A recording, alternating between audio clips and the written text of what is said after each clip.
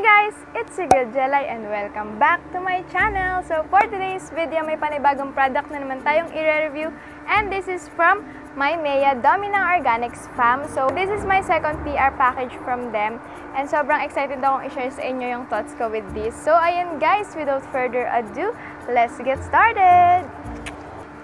So ayun guys, ito nga yung pinadala nila sa akin. And meron ulit tayo nung kanilang Sweet Chicks Cream Blush. Actually guys, na-review ko na to but syempre i-explain ko pa rin sa inyo kasi different shade na to and ito try natin ulit siya. And then we have here their full collection ng kanilang Intense Matte Tint. Ayan. Ay! Ayan. So, limang shade siya guys and ipapakita ko sa inyo yung swatches and syempre i-review din natin sila today. So, eto nga pala guys, may kasama siyang card. And, ayan. Sana nababasa nyo. Yan yung kanilang social media platforms. So, nandyan yung kanilang Facebook page and yung kanilang Instagram account. Ayan. Pwede nyo silang itag if ever bibili kayo ng kanilang mga lip products, ng kanilang mga products, pwede nyo silang itag dyan sa social media accounts nila. And sa likod is uh, simple letter lang. Ayan.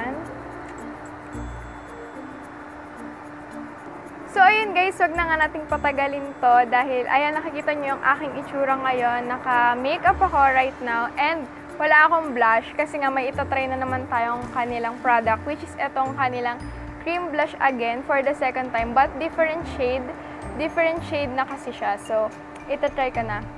And ayun guys, pag-usapan ulit natin yung kanyang packaging. So, ayan ulit yung kanyang packaging. Nakalagay siya sa um, airless pump yung kanyang packaging, yung kanyang bottle. So, sa packaging niya nakalagay yung logo ng Maya Domino Organics and then Sweet Chicks Cream Blush. And then, dito sa gilid is yung shade na Posh. Ayan. So, dito din sa kabilang gilid, nandito naman yung net weight niya which is 5 grams. And then yung mga symbols na yan which is paraben-free, cruelty-free, and recyclable, recyclable materials. Ayan. So, ayun guys, ito nga yung kanilang Sweet Chicks Cream Blush. This is in the shade Posh. So, itry natin sila. Isiswatch ko siya sa inyo guys. Little goes a long way siya guys. Kaya sobrang konti lang nang nilagay ko kasi sobrang pigmented niya. Ayan.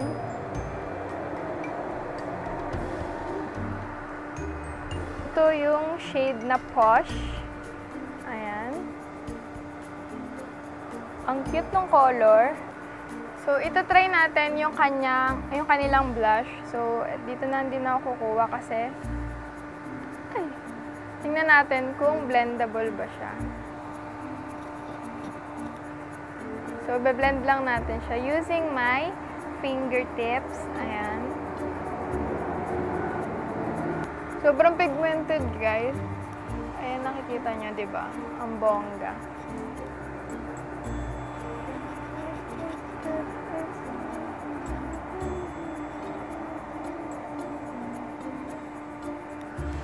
Oh, di ba? So, ito yung kanilang cream blush, guys, sa aking cheeks.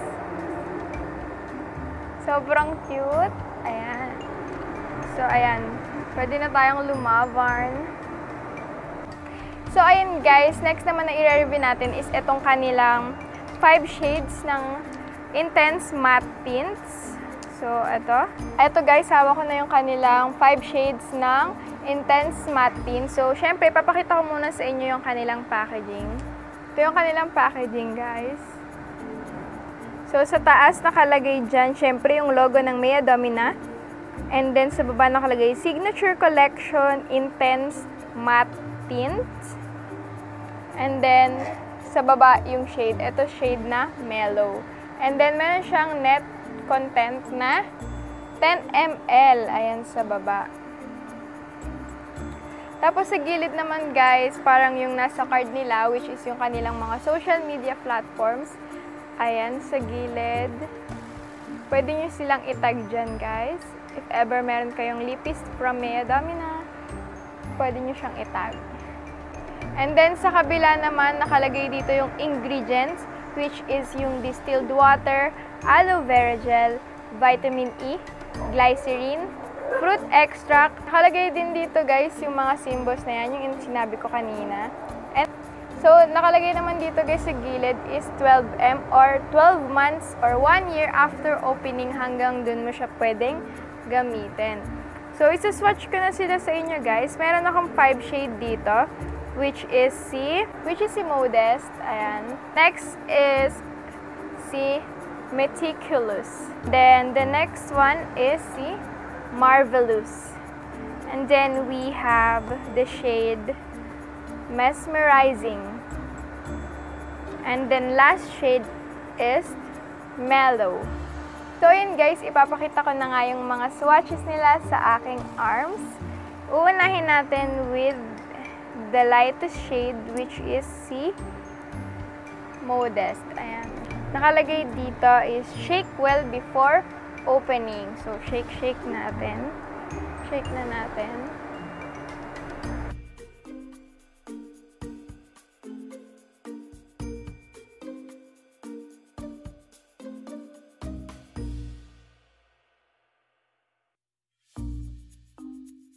So, this is in the shade Modest. Ayan. Yung shade niya. Color pink. Next, shade Meticulous.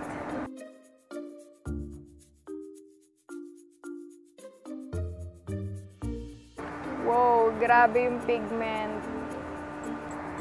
Next naman is itong shade na Marvelous.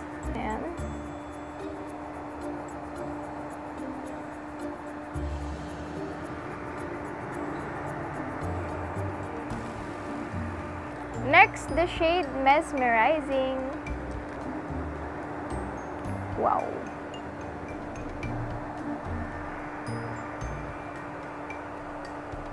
And last but not the least, the shade Mellow.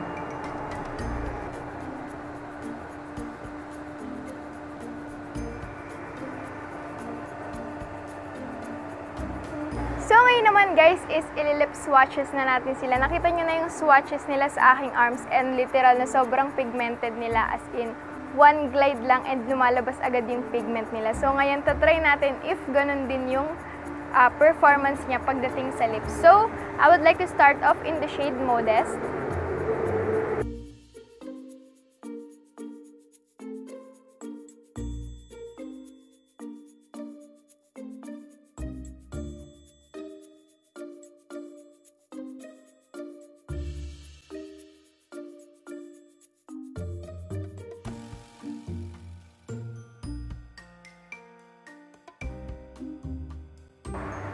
Shade, we have Meticulous.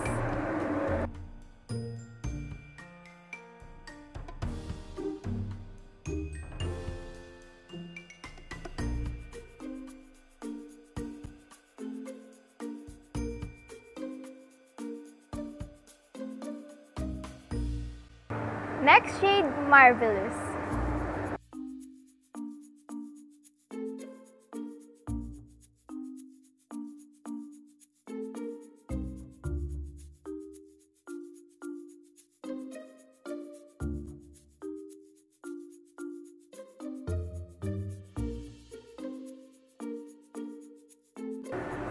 Next shade, Mesmerizing.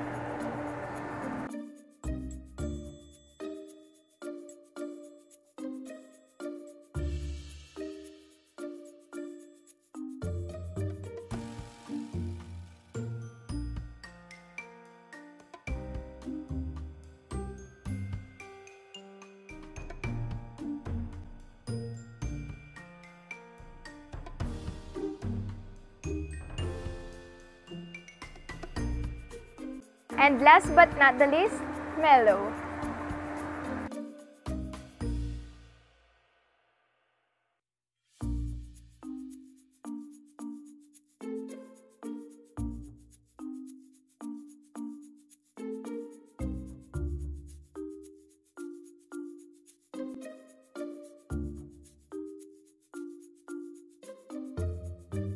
Guys, nakita nyo na nga yung um, arm swatches and yung lip swatches ng kanilang Intense Matte Tint. And guys, ibibigay ko na nga yung final thoughts ko with this product. Uunahin kong dito sa kanilang uh, Sweet Cheeks Cream Blush.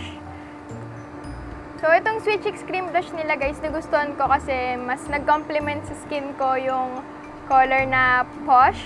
Yung na-try ko kasi dati si Perky, medyo light siya or medyo mas bagay siya sa mas maputi sa akin. So, okay naman yun. Favorite ko din siya. Pero mas nagustuhan ko yung shade nito kasi mas nakita siya sa uh, skin tone ko.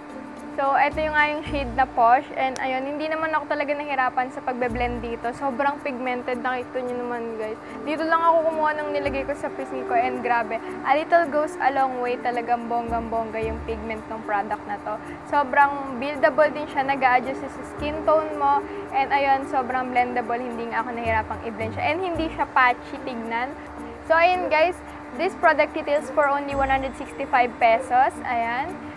So, ang hindi ko lang nagustuhan dito guys, or medyo downside lang is yung stickers niya talaga natatanggal. Pero, okay lang yun, nakausap ko naman na si Mamshi about doon.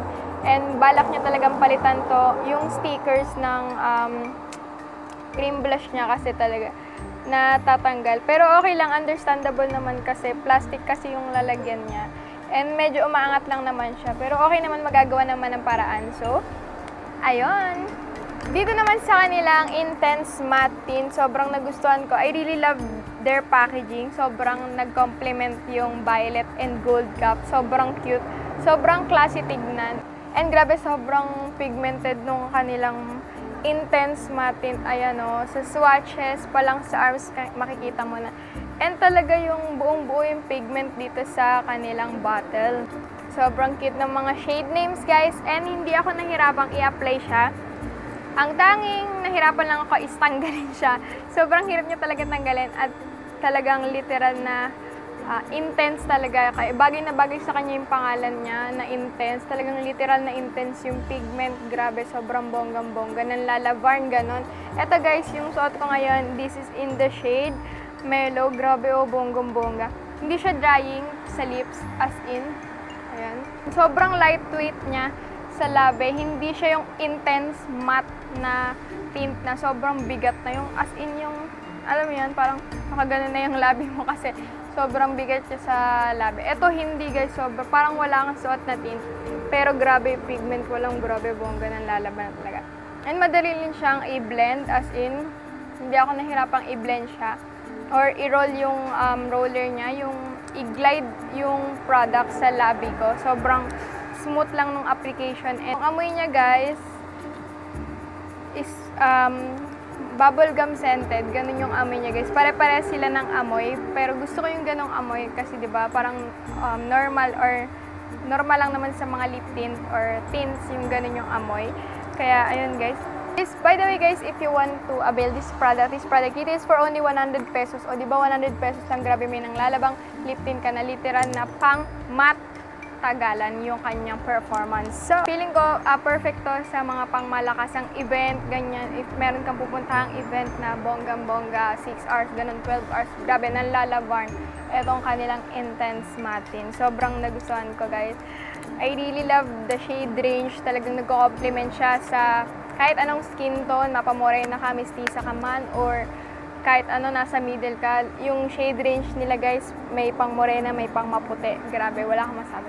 So ayun guys, if gusto niyo umorder ng mga products na to, pwede niyo i-avail itong mga products to sa Facebook page at Instagram ng Mea Domin Organic. So ilalagay ko dyan yung kanilang Facebook page And ayun, dito naman sa kabila yung kanilang Instagram account. So ayun guys, i-like nyo na rin yung kanilang Facebook page at i-follow nyo na rin sila sa kanilang Instagram account. And kung tatanungin nyo kung i-recommend ko ba tong mga products na to, I will say yes. So ayun guys, that's all for today's video. And kung nagustuhan mo tong video na to, give this video a thumbs up. Don't forget to subscribe on my channel and turn on the notification bell para mas maging updated ka sa mga bago pang parating na videos and also don't forget to follow all my social media accounts down on the description box below. So ayun guys, thank you so much for watching and I hope to see you soon on my next one. Bye!